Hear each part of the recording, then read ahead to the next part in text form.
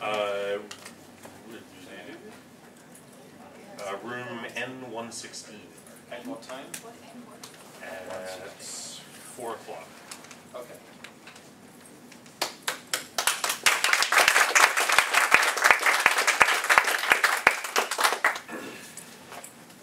Hello everyone. Um, we're going to have uh, 30 minutes of um, discussion and workshop on a topic called government created um, content. This is uh, a term I made up in reference to uh, user generated content.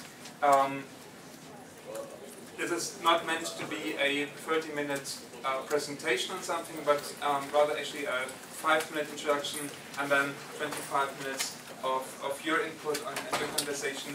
Um, these guys are very trimmed down, they leave out many details uh, in order to, to make this happen.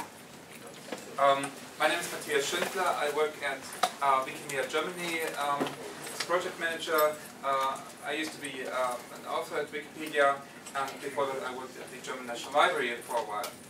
Um, government created content uh, is something you can see on Wikipedia. Um, actually, you can see it in almost every edition of, um, uh, in every language edition of Wikipedia. You see one government-created work. It's a picture of planet Earth. Uh, one specific uh, picture is part of the uh, Apollo um, mission.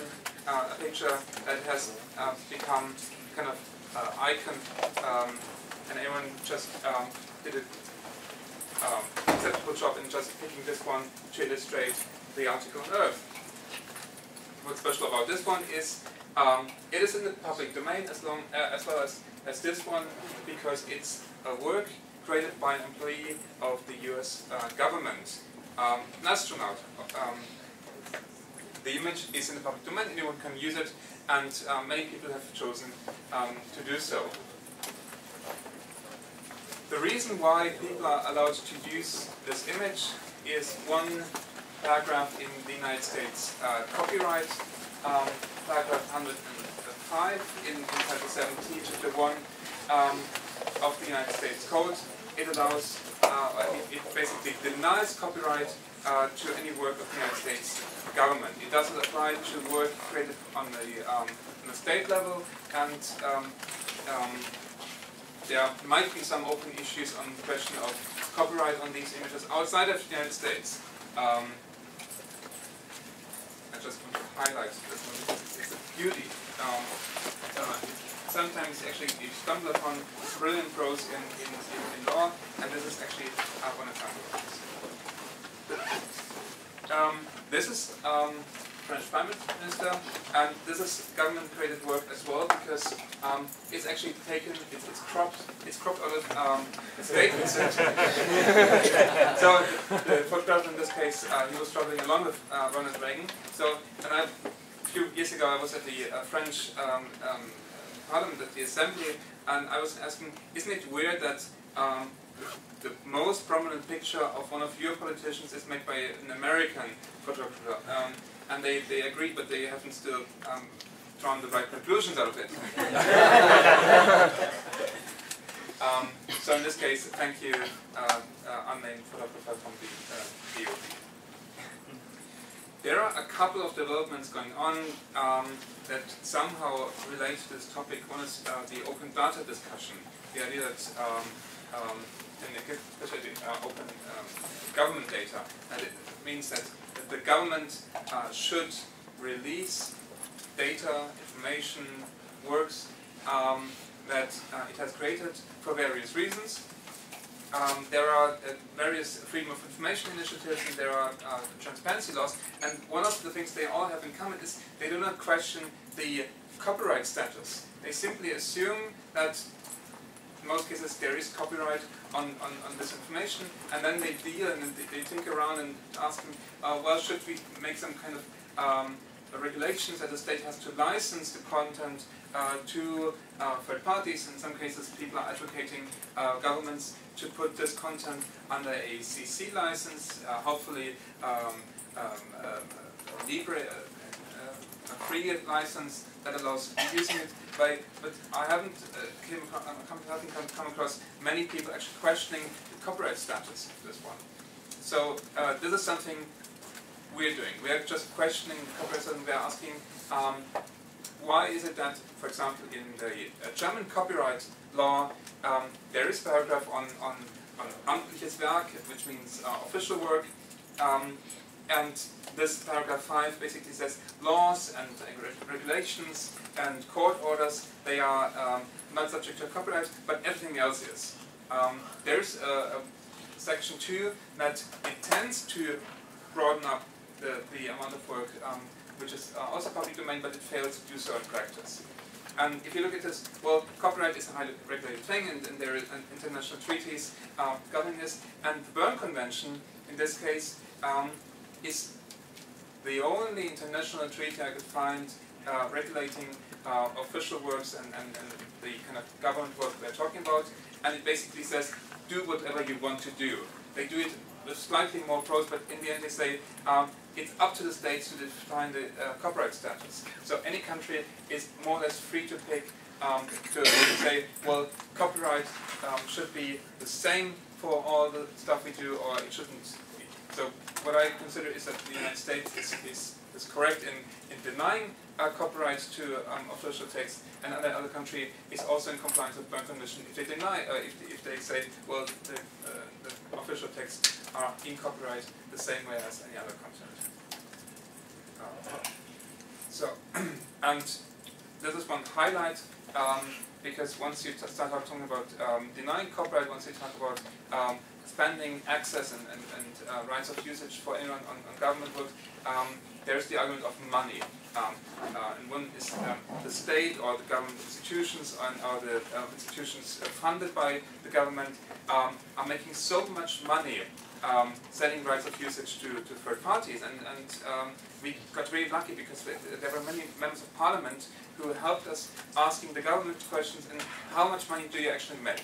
And these are some examples. This is the uh, Federal Criminal Police Office, uh, Bundeskriminalamt, and how much money did they make in 2012? This is the most recent number. Um, 120, 129 uh, euro. Um, Secret Service, 98, uh, yeah, 1998, Federal Police, uh, 13, and um, many more examples, and some uh, do not make any money, some make uh, any money. It's uh, 5 million euro per year for the entire federal government in, in Germany, and um, you can put this into a perspective. And, and does, it, um, does, it, does it include geodata? And also the... It includes geodata. It includes um, all rights of usage, and in many cases it includes, um, it's a, in many cases it's a, it's a package deal. So when you um, when you rent um, or when you ask, uh, if you're a film crew and you and want to take pictures um, um, at a, at, a, government office, um, you, you have to in some cases pay some some rent, and as part of the rent, you get the permission to uh, to create works there. So in some cases, rights of usage are a small, tiny part of, of the total sum you pay, but uh, it's calculated in there. And um, I'm glad that um, my talk is, or my, my uh, workshop here is right after the science group, because now you're familiar with uh, visualization of, of data. Um, this, the, the red part, the red part is the sum of money, uh, the, the amount of uh, the, the share Germany makes from licensing and the blue part is the rest of it. We could just try to magnify it, and then we would uh, come up with uh, this amount. and yes, that is yes, that's that's the yeah, um, it's a resolution issue. Um, and since we are an international audience, I just converted it to different. Uh, yes, but there, there might be uh, certain institutions which are based on this money. Um, yes, they are in already included there. Out of these five million, um, I'm able, I'm easily able to, to question um, 4.5 million of this because in many cases this is just a kind of um, um, are you familiar a kind of uh, a hat and a, and a um, trick play where you just uh, have uh, yes shell game. Shell game. Um, the state has uh, well, as I mentioned before, uh, court orders are not subject to copyright, and there's a company selling copies of these court orders uh, to, for example, government institutions. The company is a um, incorporated company belonging to the state, and they make roughly 3 million euros per year in selling these copies to the government institutions. At the same time, um, they, um, they, they pay royalties of 3 million to the state. So it's, it's they could arbitrarily make 40 million per year. At the same time, we just increase the, the, the amount of money they pay back. It's, it's No, I think, I think you're completely right, but I think the point that you're making is also valid that in particular, some of those institutions make part of their budget from selling this stuff, which economically doesn't make sense for the taxpayer nor for the government. But yes, as they rely on it, when we want to change these policies, we have to, as a society, find a political solution for it. yes, Yeah, that's, exactly. that's what it is. It's normally not, not the, it's normally not the case that this person has no chance and uh, it needs an upper decision to say, okay, these people are tax funded, so they don't have to earn the money they get, so. Co- exactly correct. Um, it's it's um, oops, there's one slide missing. Um, the the interesting part is when I was working at the German National Library, um, we were always given the information. Um, our institution um, makes one million euro per year by selling uh, catalog data um, out of a total budget budget of 80 million. So it was a significant amount. What they failed to tell us every time was our customers were other federal institutions. So one part of the public uh, did, uh, institutions paid another part some money. Um, it, it was just maddening um, because every time someone was talking about um, releasing stuff under a free license, for example, um, they said, no, we can't do this because this job and this job and this job applies to them. And here's, well, after asking these questions on, on how much money do you make, the next question, a series of questions, is um, how much money do you spend in order to make this money? How much do you spend in, in, in sending out um, um, uh, bills and, how much money do you make to, to handle this and how much like, we're not talking about even the, the hidden costs of, of not being able to share information, just about the, the direct costs of how much money do, do, do you have to spend in order to get this kind of, let's say, um, uh, 128 uh, euros per year um, uh, if you are the, the criminal police of Germany. Uh, in France, we have exactly the same problem where an institution sell other, uh, other items, pictures to other institutions. It's called uh, Réunion des Musées Nationaux. And it's exactly the same problem. And in fact, it, it is believed that it costs money to the state, but it's just a political issue because all politics wants the, um, the museum to earn money some, somehow. Um, so they have to sell something. But they sell something, but they lose money because they have to put an infrastructure, a process to sell this. So that's stupid. They just waste of public money. Um, here's the, the thing we're working on this year as we come into Germany. We are um, writing a draft bill that would change um, paragraph 5 of the um, German copyright law. We're not going to, to introduce it into Parliament because we are not a member of uh, the Parliament. Um, we are just um, intending to, to release this draft and to inspire people and to inspire and trigger a conversation about um, what is technically possible, what is possible um, in terms of international law and, and existing treaties, and then to see um, what would actually change if a much larger share of, of government-created works would not longer be um, um, subject to copyright. Because in many cases, there would be still income. Uh, government institutions would still be able to charge for services, for example, the, uh, they would be able to uh, charge for providing content in a specific format. So I just call them and say, uh, I need uh, a copy of some record, and they could say, okay, we're doing this um, according uh, to um, to how much money it actually costs us to to, uh, to go to the archive to make a copy and to send it to you um, via email or via fax or um, via, via post system. It would just no longer um, there would no longer be uh, a copyright protection uh, uh, attached to this one. Um, this is ongoing work. Um, this is um, something um, we would, um, or we intend to, to actually share with anyone in this room, outside this room, uh, with the public. And, um, and, and interestingly, this is a topic of, of copyright that can more or less easily be transferred in other countries.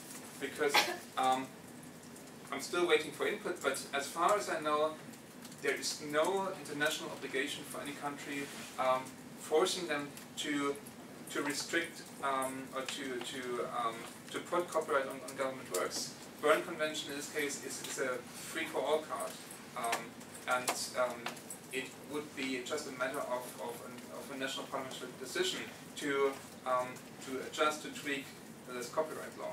Uh, maybe follow the American example, maybe find, find something new. Um, it's basically up to you. Um, and one key part, and this is something um, that um, has been proven to be uh, effective from my point of view, is um, go ask your government how much money they make. Um, because if you don't ask the question, uh, it will be brought in as an argument um, at some point in time. You can anticipate this conversation, and you can actually embarrass anyone in the, uh, in the process very early um, when they actually have to give you detailed numbers. Actually, do you have an overview of uh, who and, and what exactly do you ask? I mean, uh, most likely there is no, no ready statistics about it. And, and every institution has their own numbers and they are compiling it differently, so there are going to be a lot of uh, methodological problems. And then, uh, of course, anyone can, can answer that, uh, you know, actually this does not include this or that and you're not correct and so on. Um, you're absolutely correct. Um, there are methodological issues in this one, and in some cases um, um, they are they working in, in, our advantage because we can uh, always question them and we can uh, you know, refine them. And of course, uh, we got some experience in, in, asking the right questions because the first set of questions was properly legally answered, uh, but it was just pointless because uh, they did not really intend to answer them in a meaningful way, just in a, in a, in a correct way. Um, so you have to uh, think about going rounds and rounds and rounds. Um, this is, for example, one of this so-called kleine Anfrage, which is a, um, uh, a, question formally asked by one um, one faction in the in the parliament. Um, so the government doesn't answer to us, does answer to members of parliament. Uh, it's it's it's now in the public record, um, and um, there is some flexibility in, in how they answer usually it's up to them. So um, the government receives the question, um, it then distributes the question to the department most likely to be able to answer it, and up to the department to ask, in this case, every other department how much money they make, then to compile the answer. So what you can do is if you talk to a member of parliament, if you inspire them, if you suggest to them that they answer, they, they ask the questions, you have to tell them that um, they have to ask the most specific, most detailed way possible. Um, and then it would be a question for uh, a matter for the government to say, well, we don't have this much detailed information. Um, in the case of Germany, we do like administration, we do like numbers and, and stuff. So um, they did have the number. I was surprised to see this detailed information. Um, and it's it's not well it's it's a public it's on public record now. So technically they, they wouldn't be allowed to lie. They're just able to just, just point you in the wrong direction, but um, you can ask them again anytime soon. And, and we just um, looked at the, the results and then we got uh, through the list one by one. Well, uh, it's, it's not so hard to get a member of parliament to ask anything, uh, but the problem is that you have to, actually, in most cases, you are the one who has to give them the correct question. Because, yes. Uh, well, they won't be able to do it on by themselves. The, the thing you can always do is um, take our questions and, and, and translate them and, and see if they fit into. Um, exactly. Uh, I mean, uh, how can I find uh, this information, the, the, exact questions and so on? Um, there are several ways. Find it one, somewhere, or? well, one way is, and I put this on um, because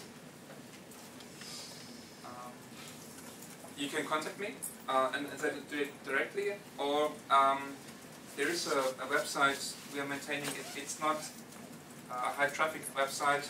It called it's called Urheberrecht uh, copyright.wikimedia.de, which is right now a blog um, in which we um, give out some information about ongoing um, developments in copyright, especially with, regards to um, to state um, uh, to, to government created works.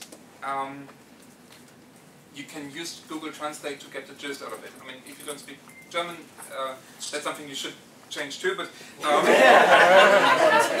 um, but uh, you will be able to, for example, get the um, the the identification number uh, from the um, the from the archive from the parliament. Uh, Google Translate works really, really well on German legal texts. Yeah. Right. Eaten a lot of those, yeah. Yes. Um, if, if you like, uh, German English preserves some part of the meaning.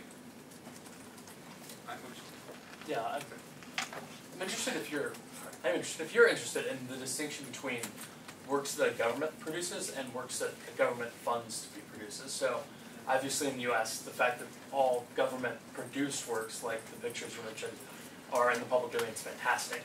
But the works that the government itself funds are of equal, if not greater, importance. And the things I'm thinking of, and those of you that might know me know that I'm biased towards this, are things like research articles and the data that go Yeah, along with them um, and sort of the broader idea of open policy, so public access to publicly funded research and how that sort of intersects with your interest in public domain. There, there should be full access to works um, which are created because there was funding by the government, but I don't think copyright is the proper tool Yeah. to achieve this. Um, there are open access initiatives. There is the um, the um, National Institute of Health uh, Right. initiative. There is um, I think NIST and many more institutions have implemented um, policies um, on open access. So um, you get a grant uh, funding for your work as long as you promise to um, to, to follow the open access strategy. Um, and in many, many cases, um, American institutions are on the on the on the, uh, on the brighter side of the spectrum of possible open access.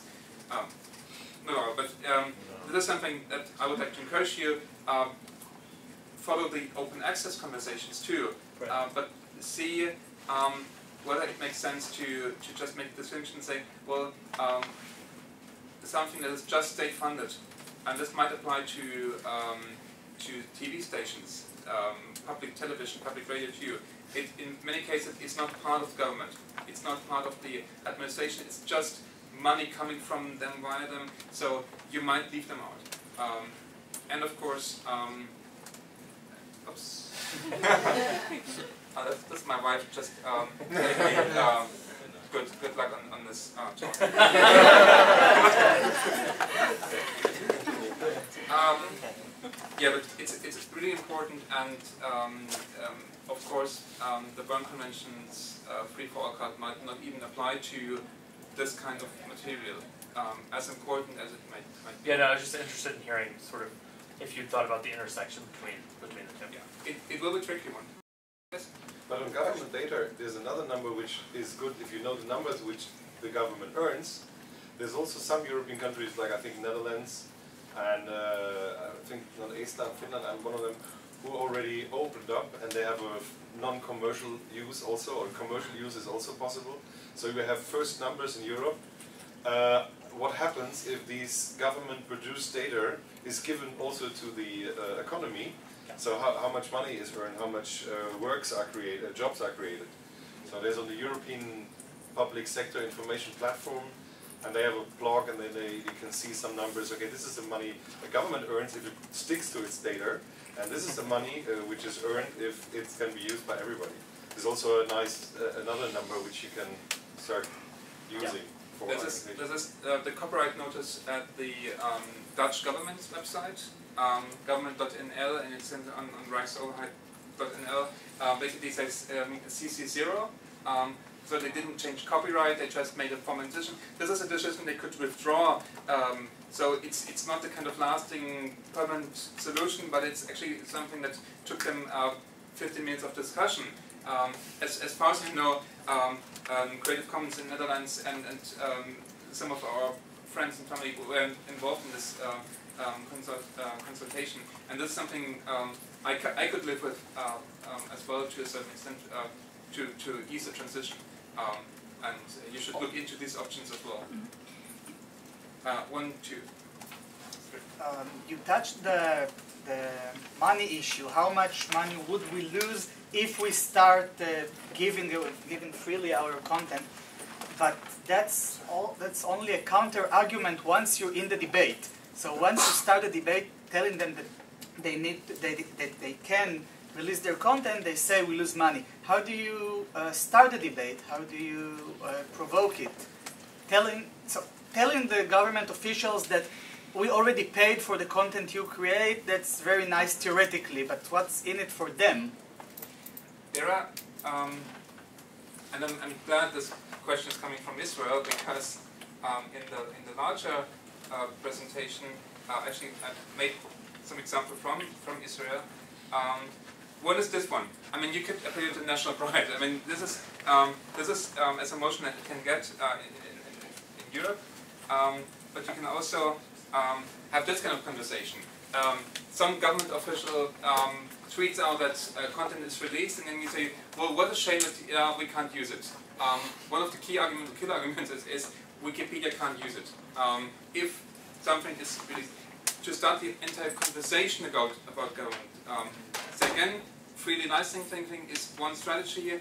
Um, fixing the entire copyright with regards to um, government created works is another one, but at least to get the conversation started see, um, does it make sense for a government, for a state, to both own co copyright and then to uh, restrict access to it or to, to deny uh, reuse. Um, and um, I think this is the, the uh, copy of a um, Israeli government decision, so it's a law, it's, it's something the government uh, agreed on. It's, um, it's not a law, it's a regulation.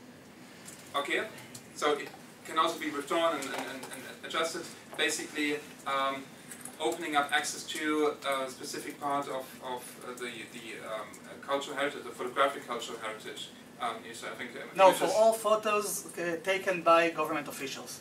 That's what this one says. And I think it's something, and you said um, the, the ministers are uh, responsible for implementing Yes, each it, ministry so is uh, responsible for um, setting their own policy um, on the basis of this decision. Okay, this is, for example, one, one um, occasion, one, one, one, one way to start a conversation. Uh, you simply ask them. You ask them in a public way. You write emails to them. You can simply say, um, "How about how about your archive? why can't we use it? Um, and um, this is, and of course, uh, in some cases, um, someone else is starting the conversation too, and you can always try and compare. If there is a G8 summit or uh, G20 or kind of the national summit, you have always these kind of um, uh, comparisons when one photography team um, is is um, is um, sending out um, pictures um, unrestricted, and one photography team um, has just a label do not use written all over it, um, kind of visible watermarks and, and, all this stuff. So when there is an international event, you can um, you can highlight the differences and you can ask them what purpose does it serve for your government to spend money making photographs that no one else can uh, can use. Yes. And then you can slowly push towards questioning the entire system. Yeah, I want to mention, I did some research on this in Hong Kong, and the Hong Kong government is always proud to operate like a business. And um, the idea not charging for information is completely foreign to them. So, and actually the, inform the information income, the revenue from uh, selling information is uh, a bit higher in Hong Kong. So, for instance, a very profitable company registry information, a lands registry, uh, and of course geospatial information. So it's not like in Germany. Germany is obviously quite poor in making money off of, uh, of the licensing uh, income. But Hong Kong uh, government agency uh, is left to each government agency what they do with, with their products. Um, but some of them are obviously they, they, they charge whatever they can take get from the market. So changing this philosophy here is quite difficult. I think in many Asian countries where um, information, public information is a scarcity and not open by default, we really need to think about how, what, what is the rhetoric to really change this kind of thinking about public information. You're correct. There, there might be some countries outside um, doing a better job than Germany in, in monetarizing this. Um, and still, I'm very happy to see actual numbers from this and to see if the money they make, A, exceeds the money it takes for them to make money, mm -hmm. and B, if it um, comes close to the money they it required to actually come up with the data and, and to come up with the uh, land survey and, and the meteorological data. If these two conditions are uh, here, one might have to change strategy. If this is the case, I'm uh, I'm doubtful about this, but um, I'm open to, to more data. Just two observations, and uh, also in Germany it's different for the, especially for the city states. They tend to have a, a higher, um, they, they tend to have make more, uh, generate more money on the on the PSI they sell. Nevertheless, I think that I would I would ask the same questions that the, the Michael just um, Mathias just uh, just raised, and um, and also I would recommend not to enter the economy because to be honest, very little is known. There's very little evidence based about the real economic impacts of pricing public sector information. We are just, I mean, just at the beginning. There's no long-term studies that could show us what was the real impact on the economy, on the government itself, on government efficiency. All these things are really almost untapped. You will find some of the early reports on the uh, already mentioned PSI platform, but it, it's very, very early days for this kind of, of serious economic discussion. So if, if you're looking for advocacy, I would really recommend to go for the political argument and try to convince politicians and government uh, agencies that transparency and openness and collaboration could be a strategic uh, benefit for them in, instead of entering this economic debate. That's just an observation. Right. In in uh, in European only for European uh, Union countries. But anyway, in Poland it was such a story that uh, of, uh, governmental agency responsible for geodata did not wanted to reveal the data about the flow of river and shape of ri rivers. And then there is a, a EU directive which clearly says, don't remember the number of this directive at the moment, that all environmental related uh, uh, data should be released for free. And then they they went to the court and won simply with this governmental institution and there are several other such directives like an Inspire directive, then directive for open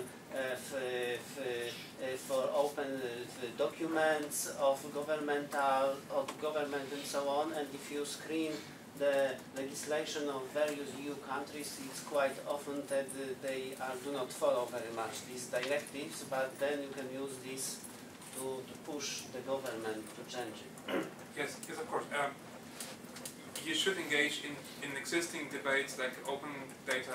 You should engage in, in freedom of information conversations um, that are all related to this one, and they, they um, in many cases, they try to achieve the same goal. Um, and in some cases, um, after long conversations, many government institutions are willing to admit that this is not about money, this is um, about exercising control, um, and this is sometimes about covering up failures to some extent. There was a person from a from the um, municipality operating a harbor they, they, the, municipality operates and owns the harbor, and they are by, um, by legal contract are obligated to uh, to, to maintain a certain depth uh, for entering ships. And they realize that uh, most of the ships entering the harbor are smaller than um, the maximum size they are legally obligated, so they, they fail to just dig in and, and, and take out the sand.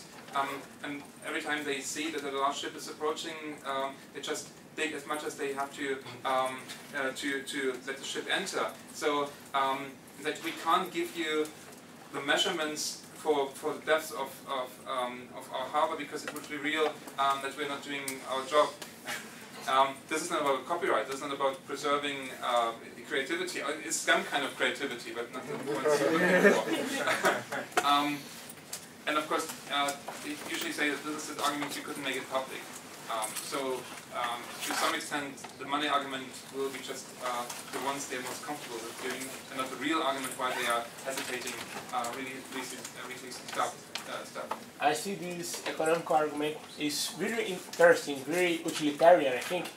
But I agree with him in the case that you can use this uh, very clearly in the case that the government use the economic argument also in the case that the government say no it will have huge impact in your income something like that but you know i see this this copyrighting government content much more like a political question much more a moral question no i am brazilian in brazil all the government content is public domain.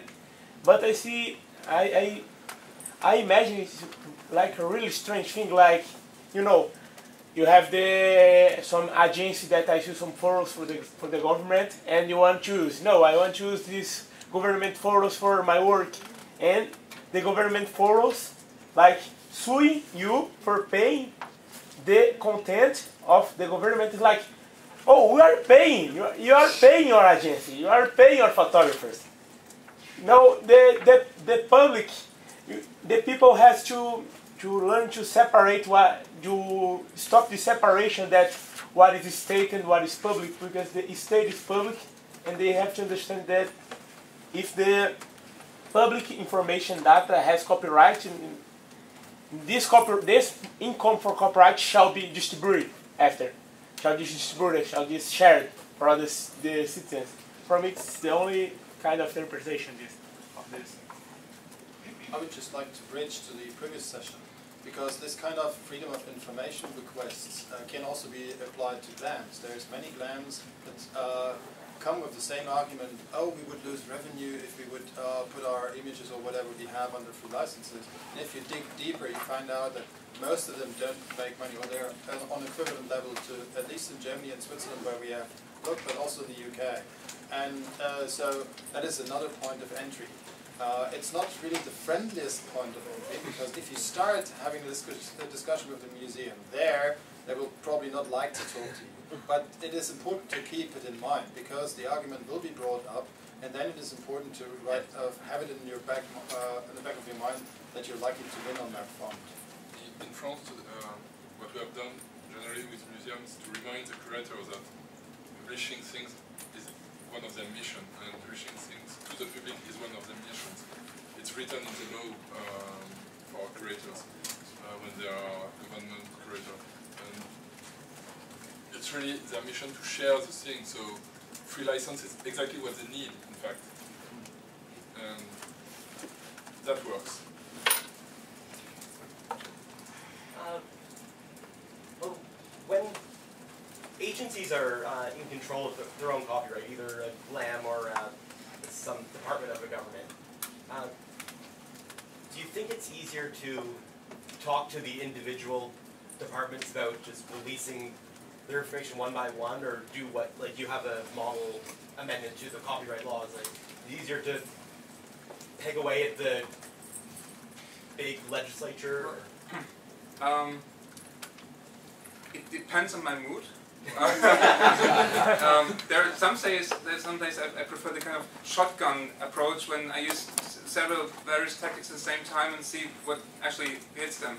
Um, it, it, it's helpful to have some kind of, of a sparring partner that takes the opposite role, like good cop, bad cop situation, when one is offering them something in return, collaboration, climate partnerships and all, and one person just insists on that the fact that the government, uh, the, um, the public has already paid for it and, and there is a legal obligation and there's a moral obligation and um, basically um, telling them that they can freely act now or being forced to act later.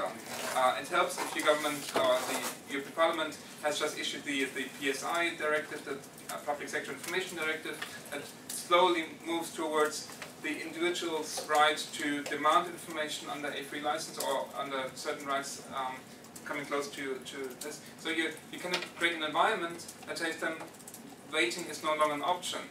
You can act now, you can, you can be the proactive guy, or you can just be the person being drawn to, uh, to, to court and then having, having to just release the stuff uh, anyway. Um, this is something that um, in many cases it's just depending on, on your personal preferences um, as long as they, they work and of course of there are cultural differences in, in many uh, but that, um, personally starting with a friendly approach and then moving towards more kind of insisting methods um, seems to work in general. Um, I'm from Australia. We, we seem to be a little bit further down the track than some of you. That our government ha now has a policy that all of its departments will release all of their stuff under either creative under a Creative Commons license, either the Creative Commons or Creative Commons non-commercial. Which is um, bad. better? So, which is bad. I mean, the non-commercial. Well, Unless- non-commercial is bad for Unless you are communist or something like I that. personally, I'm personally very, very much in favour of non-commercial, but it can, the point is that non-commercial can't be used on the Wikipedia. But it's, uh, each department gets the choice as to which one of those is going to go where, whether it will go with a non-commercial or not. But I still have the problem of the United States. The things can't be put into the public domain. Uh, the United States will not accept that. And one of the questions that any government Can department you, will can ask. you when- elaborate on what you mean by that? Sorry? Can you elaborate on what you mean by that? Yes, the United States has some treaty with us that says that, that, uh, that was took in, uh, effect in 1996 called, what is it? Help me out, sorry. And they, it says that they recognise anything that we had in the public domain at the time that treaty was signed. And since at the time our uh, uh, expiry date was 50 years, the United States has since put pressure on us to lift it to 70, but government stuff is still at 50. Um, Are you talking therefore- about the, the Uruguay round? Yes. Treaty? Okay, that's it. It- I don't think that's it, but it was one of those treaties, and therefore, only stuff from 1946 or before is accepted as being in the public domain by the United States. So that gives me a problem with government stuff, in that uh, everything up till 1963 is now in the public domain in Australia, but I cannot, in the United, the United States will not accept that. Um, Which is what the- which is problem on the Wikipedia Commons. Yes, so no, so we can't put that on Commons, but we can, we can try putting it on Wikipedia, but I have trouble with that.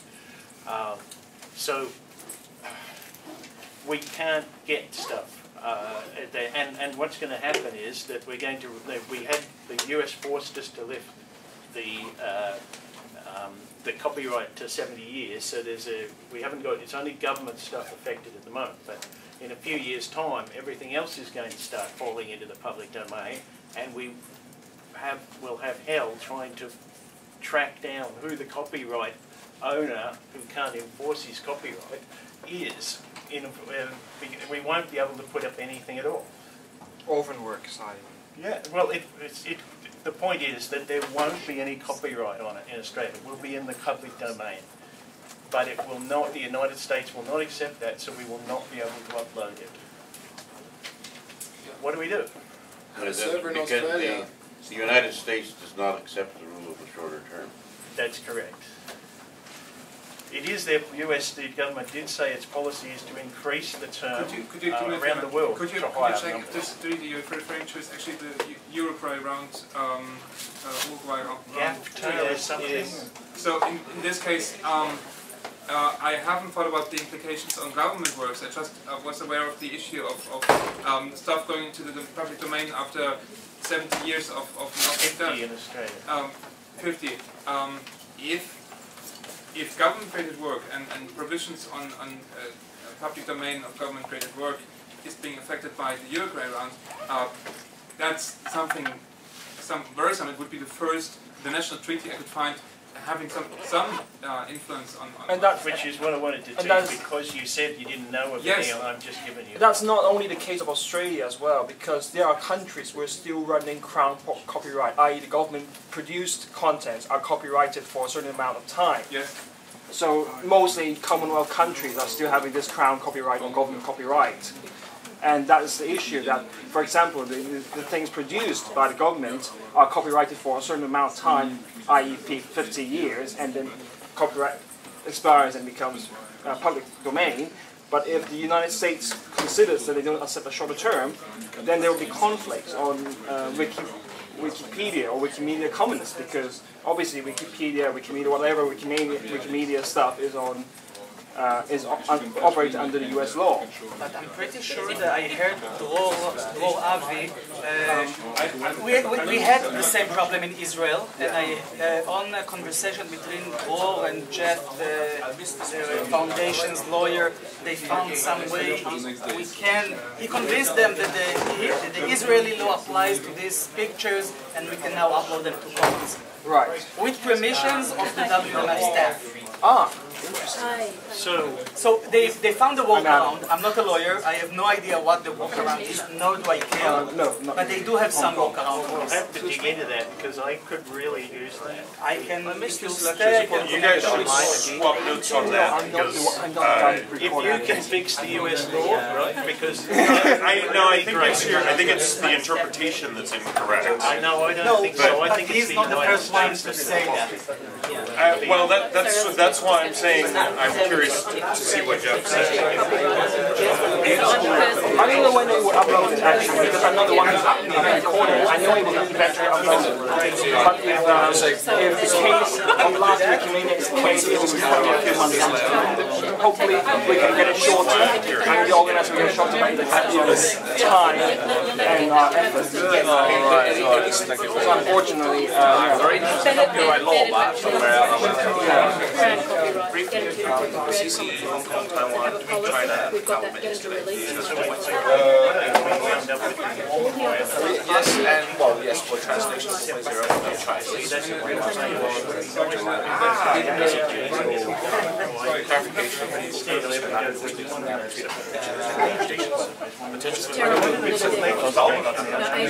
Oh, you are recording. Oh, you're the okay. Yeah, um, yeah, the, the organization just